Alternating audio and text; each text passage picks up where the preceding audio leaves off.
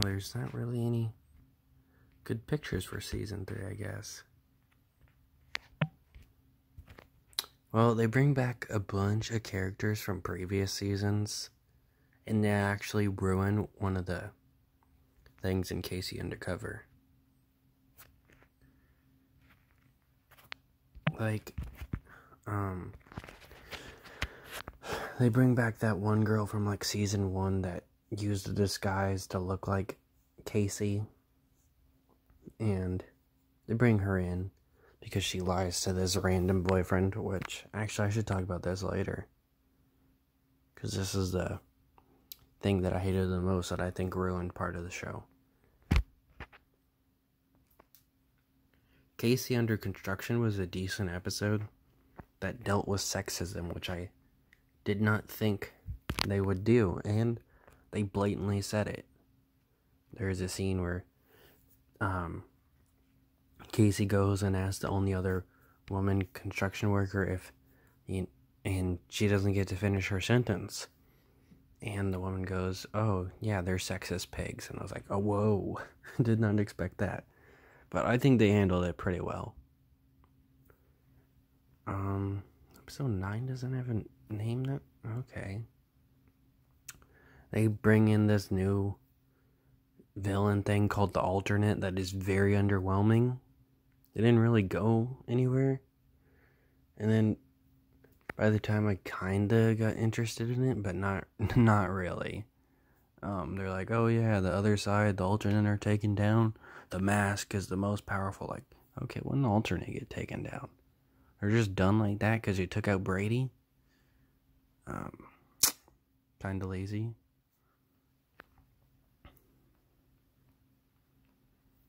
Now, the episode I hated the most had to be an episode that starts off with K.C.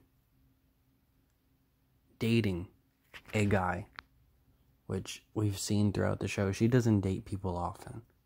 The only person she ever dated was Darius from season two, who they do bring back this season for a little bit. And then they bring this random villain that she fought once into that situation in from season one. And she kind of talks her way out and gives him um, her a happy ending by getting her back with her like high school crush or something. I don't know. It was such a weird episode, but anyways, they also go out to the movies and stuff. They have a, like a good time. It doesn't really fit her at all. And then she ends up lying to him, saying, um, because he bumps into her at her undercover mission because they had a date that same day, but she forgot about it. And, um, she's like, oh, hey, that's just my cousin. We look exactly alike. And instead of, you know, doing the basic thing, like someone putting on a disguise and she's a, you know, a spy, she breaks out a lunatic from the first season and tries to get her to help her. And then in the next episode, they actually acknowledge the fact that that was pretty dumb and they should have did the disguise thing, but that doesn't fix it at all.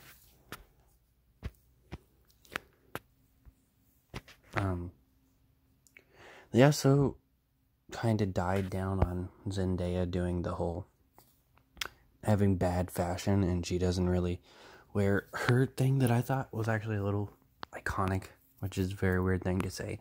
The flannel sweatshirt that she wore around her waist. She doesn't wear that ever again in this season until the finale because I guess if someone wants to, you know, not watch any of this season but wants to watch like the final episode to see where it went, they would be able to recognize that. I don't know. They just finally have her wear it in the final episode in the last few minutes. But now that they can't make fun of her fashion sense, they have decided that the new running joke is that she has ginormous feet. It's not very funny. And we also get introduced to a new set piece. Even though it was kind of talked about in previous seasons, since you know it is a pretty important thing to have in a house. We get a bathroom in this season. She hides Brett in the bathroom, but we never see what it looks like in season one. And in this one, we finally see it a few times here and there. And, um, yeah, I think that's about it. Besides the new, the new intro, I didn't like it. I love the intro in the first two seasons. They added like this new thing in the background, but that was about it. Of course, they have new clips and stuff, but they added like this weird noise into the theme song that I did not care for. The original theme song was definitely better.